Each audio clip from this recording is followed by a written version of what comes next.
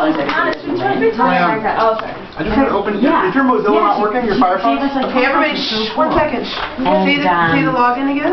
And uh, so we're up to date again for five dollars. We're up today against uh, Make Abortion Unthinkable on the Facebook challenge, and we just want to give you all a look at the chaos.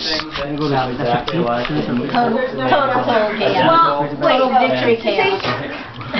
I remember there, there was talk of having multiple causes. At one point, Rich Felker was like trying to get us to have multiple court causes. So then when I call someone now, like I kept in my email the link that Heather sent me, and I sent them that link so that they don't get confused. So I just googled the organization that gets the money for the Uh-huh. abortion unthinkable, Justice for All. I did the same thing Emily did where This this site contains disturbing photographic images of real victims of genocide.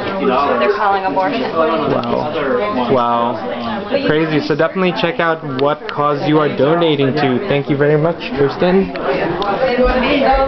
home signs at uh, Planned Parenthood all around the country. What do we have right now, Heather? It is 98 to 92, and we're only Holy up by six, but there's only seven minutes remaining. Okay. Jason Simonian is no longer married?